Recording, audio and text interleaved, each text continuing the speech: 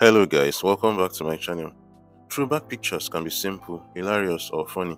Oftentimes, they are a reflection of what we were and where we were coming from.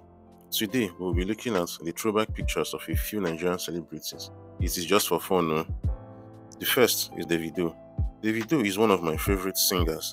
He didn't change much. Did you see that Versace t-shirt? Davido's um, dress sense actually changed for the better over time. Don Jazzy. Um, is this Don Jazzy? I no believe. Don looks fresh now and has added quite a lot of weight compared to what we see in this picture. Chopping master. AY. Oh man. See as AY neck long for hair. oh. His face didn't change much. Try. But there's nothing money cannot do, sha. Money has now cleaned AY up. Olamide. This one tripped me die.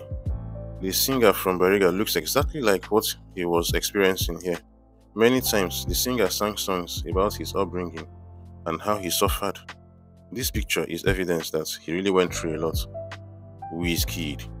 Wizkid also didn't change much, but there is obviously a change in financial status. He still has the same youthful look as back then.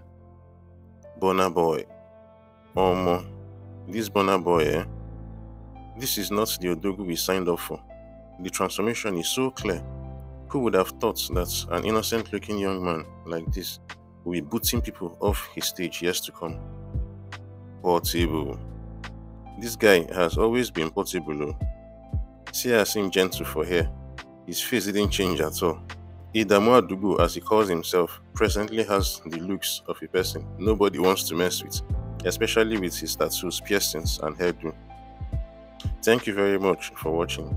Kindly subscribe and like the video. Until my next video, stay blessed.